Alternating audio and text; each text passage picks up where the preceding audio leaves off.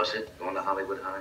Well, if you, you know, look like Raquel Welch or something, it would be glamorous going to Hollywood High School. Uh, for myself, uh, wasn't terribly glamorous. I was a pretty good student, dull, and uh, I didn't date that much or anything. We'd have, uh, we'd call sports nights on Friday nights, and everybody would go, and there would be a band you know, that the boys would have, and everybody would go there and dance. And I'd wind up with my girlfriend Ilomay Sills in the ping pong room.